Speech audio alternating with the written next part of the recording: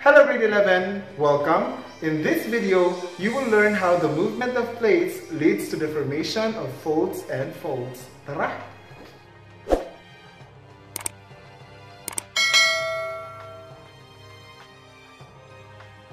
Our discussion will focus on the learning competency, explain how the movement of plates leads to the formation of folds and faults. At the end of the lesson, you should be able to 1.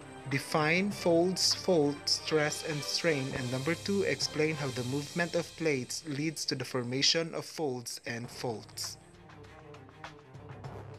If you can recall, the Earth's crust is divided into segments of land masses called plates.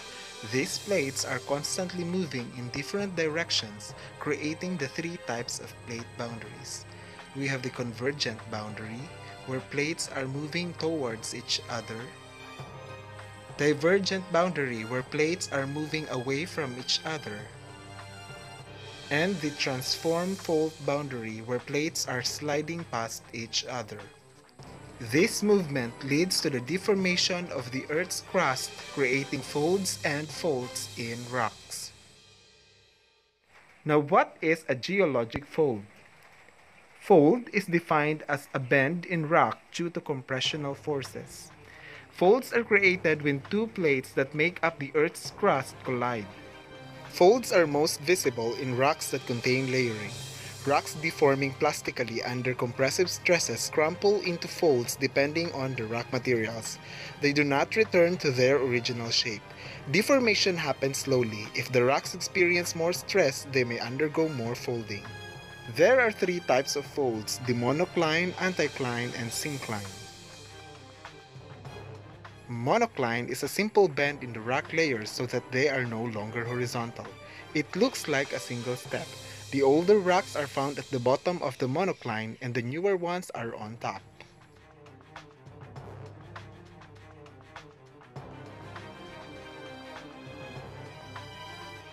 Anticline is a fold that arches upward. The rocks dip away from the center of the fold. The top of the arc is called crest. The oldest rocks are at the center of the anticline and the youngest are draped over them. Sometimes, these older rocks become exposed. If it's fairly round, it is called a dome.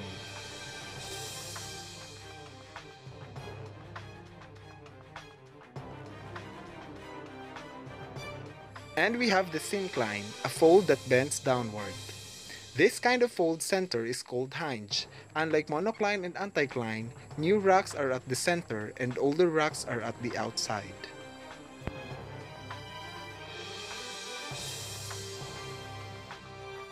A French geologist builds sand models that demonstrates how mountains are formed.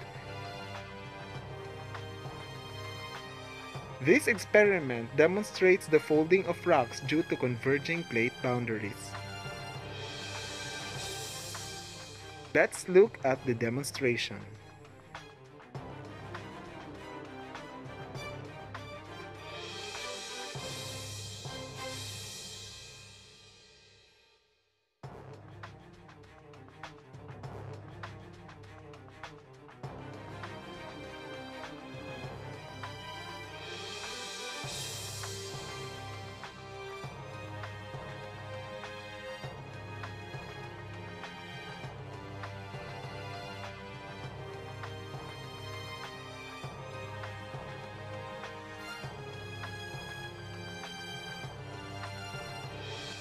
Now what is fault? Fault is a fracture or zone of fractures between two blocks of rock. Faults allow the blocks to move relative to each other. This movement may occur quickly in the form of an earthquake or may occur slowly in the form of a creep. There are three types of faults. The normal fault, reverse fault, and the strike-slip fault. Normal fault occurs when the crust is being pulled apart in which the overlying block moves down with respect to the lower block.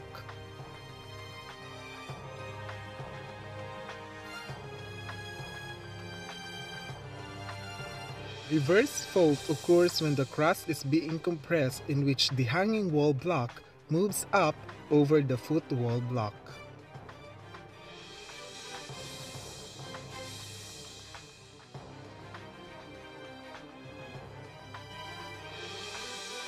Strike slip fault refers to a deep slip fault in which the dip of the fault plane is vertical.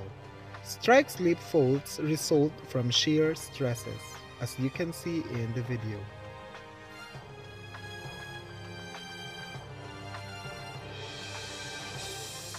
Now what causes folding and faulting are the natural forces that exist in the Earth's crust. Let's discuss stress and strain. Stress refers to the force applied to an object. There are three basic types of stress, the compression, tension, and shearing. Compression refers to the force acting perpendicular to and towards a surface. It happens when rock squeezes together causing rocks to fold or fracture or break. Tension refers to a force acting perpendicular to and away from a surface. Tension is the major type of stress at divergent plate boundaries. Shear, however, happens when a force acting parallel to a surface happens. When forces are parallel but moving in opposite direction, shear stress occur. This is the most common stress in transform fault boundaries. The word strain refers to the change in a solid's shape caused by the application of a stress. Depending on the solid, a given stress might cause a great or small strain. Rocks only strain when placed under stress. There are three kinds of rock deformation. The first kind of deformation is called elastic. This happens when rock returns to its original shape when the stress is removed. Second is plastic deformation. This takes place when the rock does not return to its original shape when the stress is removed. And last is called fracture, which happens when the rock breaks because of too much stress. And that ends our lesson. I hope you learned something today. Thank you for watching. Hey, hey.